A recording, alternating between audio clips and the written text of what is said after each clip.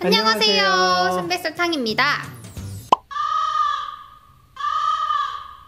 순남입니다. 네?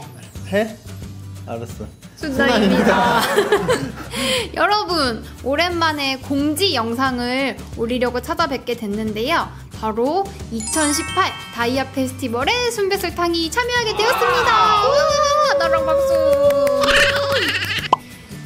작년에는 다른 일정으로 다이아 페스티벌을 놀러 가지도 못했는데 이번에는 감사하게도 무대에 참여를 하게 되었어요. 저는 시니와 함께 맛있는 무대를 준비하고 있는데요. 놀러 오시면 맛있게 음식도 드실 수 있으니까 많이 많이 놀러 오세요. 놀러 오세요.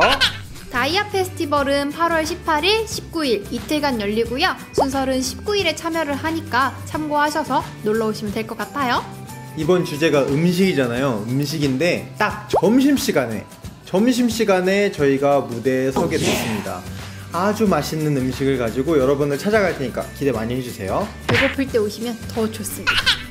날씨가 매우 무덥지만 오시는 길 너무 힘드시지 않으셨으면 좋겠습니다.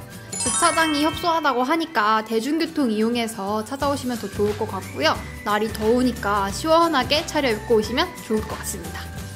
8월 19일 일요일 고척돔에서 만나요. 안녕.